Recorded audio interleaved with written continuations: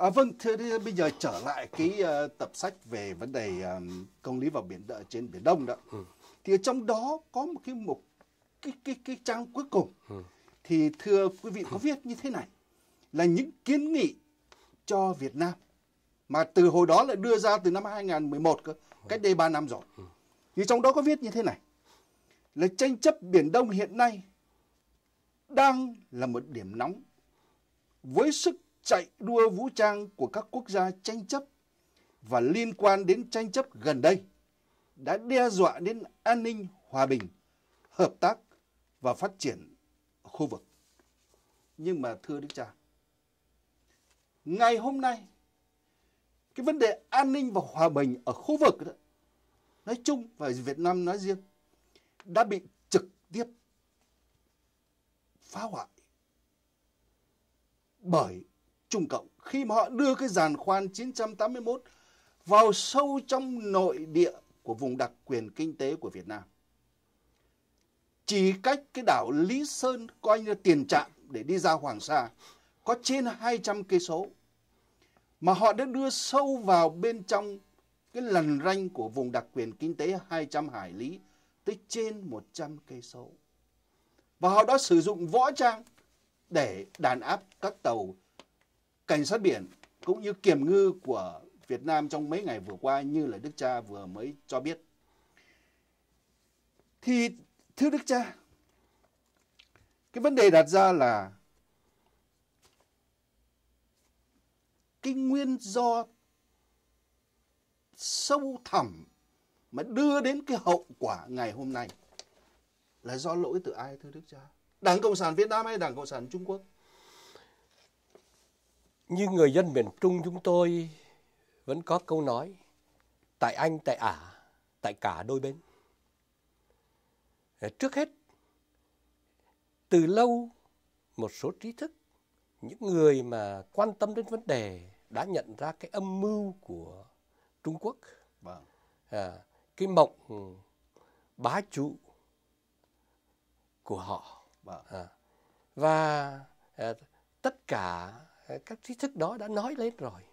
Nhưng mà luôn luôn thì à, không được nghe à, luôn luôn bị đàn áp. Vâng. Chính vì vậy mới có cái hậu quả hôm nay. Và chính vì vậy thì chúng tôi đặt vấn đề là phải chăng đặt lại cái mối tương quan giữa à, Trung Quốc với Việt Nam.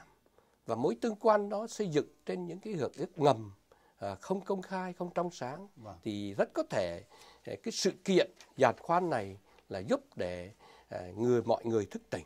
Vâng. À, người dân Việt Nam đã thức tỉnh lâu rồi. Vâng. Bây giờ à, ước mong rằng à, nhà cầm quyền Việt Nam thức tỉnh trước biến cố đó. Vâng. Vì nếu không thì họ rất là là là ranh mãnh à, những cái chuyện mà Trung Quốc quyết định thường họ lựa chọn cái thời điểm à, rất là đặc biệt vâng. là chuyện Hoàng Sa vâng. à, rồi cái à, à, Mạc Ga à, đảo Mạc Ga vâng. và hôm nay lúc mà Việt Nam đang mừng à, mừng à, Điện Biên Phủ rồi vâng. mừng 30 tháng 4 ở nhà thì vâng. Trung Quốc kéo giàn khoan đến vâng. đó không phải vô tình mà Trung Quốc đã nghiên cứu lâu Có rồi tính toán phải tính toán và vâng. đưa ra cái đường lưỡi bò đó là một cách để thực hiện cái đường lưỡi bò vâng. thì cái, nếu cái giàn khoan đó à, được à, định vị ở đó thì từ đó họ lại tính ra 200 hải hải, hải lý nữa vâng. rồi từ cái đó là tính tính dần dần và như vậy là tầm ăn dâu vâng. à, và đó là cái điều mà chúng ta thấy rằng à, bây giờ trước cái thực tế này à, đòi hỏi những người lãnh đạo yêu cầu những người lãnh đạo vì dân vì nước nên nghĩ lại vâng. và chúng ta thấy là đối diện với cái tàu Trung Quốc đó thì cái uh, mấy cái bộ đội biên phòng của Việt Nam, vâng. những cái thuyền Việt Nam thật sự ra như châu chấu đá voi. Vâng. Và lúc đó phải nghĩ đến vấn đề là kết hợp với tất cả các quốc gia nữa để cái Biển Đông để quốc tế hóa cái Biển Đông vâng. và quốc tế hóa cái vấn đề Biển Đông. Vâng. Thì trong đó như Phi Luật Tân đã nhiều lần kêu gọi và Mã Lai cũng kêu gọi là Việt Nam à, chung với họ để đưa cái vấn đề đó ra vâng. trước tòa, án, tòa án quốc tế vâng. và hay hay là ủy ban trọng tài của quốc tế vâng.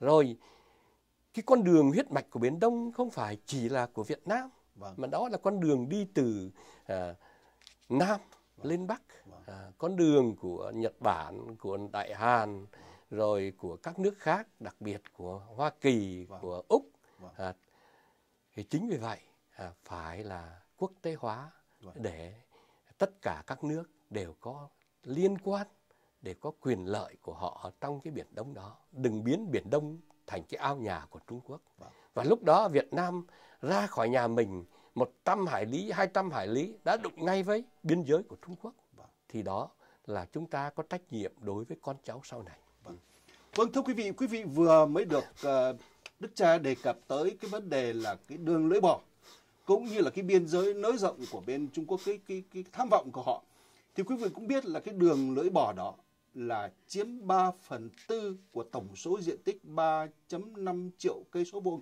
Có nghĩa là Trung Quốc có một cái âm mưu chiếm gần hết 3 triệu rưỡi cây số vuông ở trên Biển Đông. Và trong đó có hai quần đảo Hoàng Sa và Trường Sa của Việt Nam và các vùng biển khác.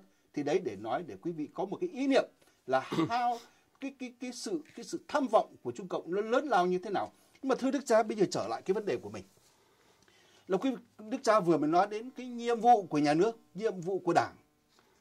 Thì thưa Đức cha có một cái điều rất ngạc nhiên là cái hội nghị trung ương 9 của Đảng Cộng sản Việt Nam mới khai mạc từ ngày mùng 8 tháng 5 và họ dự trù chấm dứt vào ngày 14 tháng này.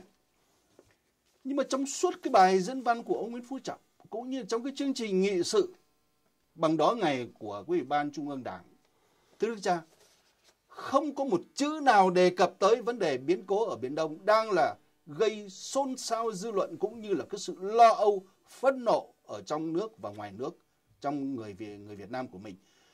Vậy thì thưa Đức Cha, là một nhà lãnh đạo tôn giáo, là một nhà truyền thông của công lý hòa bình của công giáo, là một công dân của Việt Nam, Đức Cha có hiểu được tại sao họ lại có thể thờ ơ, lãnh đạm đến một cái mức độ như thế? Kể cả quốc hội, ban thường vụ quốc hội không hề có một phiên họp bất thường nào. Kể cả ông thủ tướng cũng không có một lời tuyên bố nào. Ngoại trừ cái lời nói chuyện điện thoại của ông ngoại trưởng kiêm phó thủ tướng phạm bình minh với ông ngoại trưởng dương khiết trì ở bên trung quốc. Và ông dương khiết trì đã bác bỏ tất cả những cái lời yêu cầu kéo giàn khoan ra khỏi khu vực hay là ngưng hoạt động của ông Phạm Bình Minh thì thưa Đức Cha là một người công dân trước đã rồi sau đó là một lãnh tụ tôn giáo Đức Cha có hiểu được cái cái thái độ của của của lãnh đạo cộng sản trong cái dịp này không? Ờ, tôi với tư cách là người công dân cũng như người lãnh đạo tôn giáo thì chúng tôi cũng băn khoăn đặt câu hỏi và chúng tôi không có câu trả lời vâng. và chúng tôi rất ngạc nhiên à, sự ngạc nhiên của chúng tôi à, cũng như anh và một số người dân thì họ phẫn nộ chuyện đó thì tôi tôi nghĩ là thì các anh là những người làm thông tin báo chí và ở ngay Hoa Thịnh Đốn à, à, mong rằng các anh có cuộc phỏng vấn trực tiếp để cho chúng tôi biết đưa wow. thông tin cho chúng tôi biết tại sao có cái chuyện như vậy wow. à, khi mà tổ quốc lâm nguy thì thất phu hữu trách wow. và tại sao tổ quốc lâm nguy mà có đúng như vậy không? Mà những lãnh đạo lại ờ, bình chân như vải, thì có đúng là bình chân như vậy không? Hay là đang có những cái toan tính, hay là có cái ừ, kế hoạch để cứu nguy đất nước? Thì chúng tôi cũng rất mong rằng anh Phạm Trần cũng như tất cả những cơ quan báo chí là có những phỏng vấn trực tiếp để cho chúng tôi biết thông tin về điểm đó. Vâng, xin cảm ơn Đức Cha. Thật sự thì mọi người cũng đều biết và riêng những người ờ, làm báo của chúng con thì cũng rất là muốn biết, cũng tất cả mọi người công dân Việt Nam đều muốn biết nhưng cái vấn đề đặt ra là liệu đảng cộng sản có trả lời hay không thì đó là một cái vấn đề vâng, khác vâng, vâng. vấn đề nữa bây giờ thưa, thưa cha bây giờ quay sang vấn đề của giáo hội công giáo thì thưa đức cha cái sự liên hệ giữa giáo hội công giáo với nhà nước cộng sản Việt Nam thì có lẽ kể hàng năm hàng tháng không hết chuyện. Chuyện lớn chuyện nhỏ chuyện này chuyện kia chuyện khó khăn chuyện nửa khó khăn hoặc là chuyện giải quyết giả vờ tự do tôn giáo trên giấy tờ mà mà đức cha đã thường viết. Thì hay là đức uh, hồng y uh, uh, của giáo phận huế phạm bình mẫn cũng đều nói rồi là đức cố uh, ờ, tổng giám mục ờ, nguyễn văn bình cũng đều nói là trước khi ngày ngày qua đời ngài vẫn còn sợ cộng sản sau 10 năm sống với chế độ vân vân vân vân và vân vân thế thì thưa đức cha cái tình hình liên hệ và giao thiệp giữa giáo hội công giáo nói chung và hội đồng giám mục Việt Nam với nhà nước cộng sản bây giờ sau gần 30 năm đổi mới nó có khá hơn một chút nào không? Dĩ nhiên nếu anh so với giai đoạn năm 75 lúc đó thì tôi cũng không ở trong nước Vâng. Nhưng mà đọc lại những tài liệu, nghe những chứng từ thì bây giờ khác hơn ngày xưa. Vâng. Ở giai đoạn đó, giai đoạn từ năm 80, lúc mà họp hội đồng giám mục đầu tiên vâng. thì phải xin phép. Rồi mỗi lần họp hội đồng giám mục thì có uh, nhân viên, của ủy ban, thành viên của uh, ủy ban tôn giáo của chính phủ hiện vâng. diện ở đấy vâng. thì cái chuyện đó thì bây giờ không không còn nữa vâng. và bây giờ thì mỗi năm hội đồng giám mục đã lên chương trình có hai cuộc họp thường niên à, một cuộc họp là sau phục sinh một cuộc họp vào tháng 10 vâng. là cùng lắm chỉ là à, báo cáo cho họ biết cái lịch đó thôi vâng.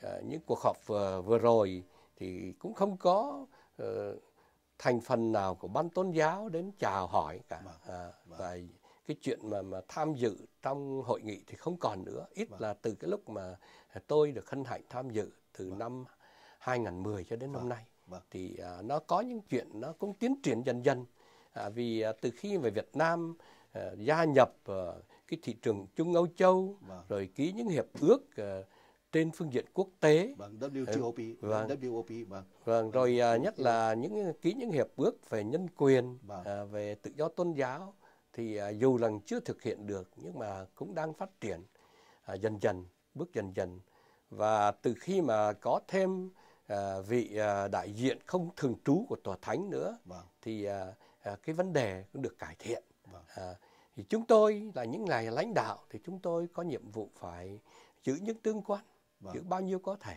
vâng. vì cái quan điểm của giáo hội chúng tôi luôn vâng. luôn là đối thoại vâng. đối thoại với cả mọi người với các tôn giáo với những người đồng ý những người không đồng ý vâng. vì đó là cái con đường của Đức Giêsu thôi vâng. à, nhưng mà rồi à, để đối thoại thì cũng à, phải có cả hai bên à, vâng. thì vấn đề đó thì, thì tùy thuộc nhiều yếu tố cũng tùy thuộc à, những giáo phận khác nhau vâng. những địa điểm khác nhau những vấn đề khác nhau nữa vâng.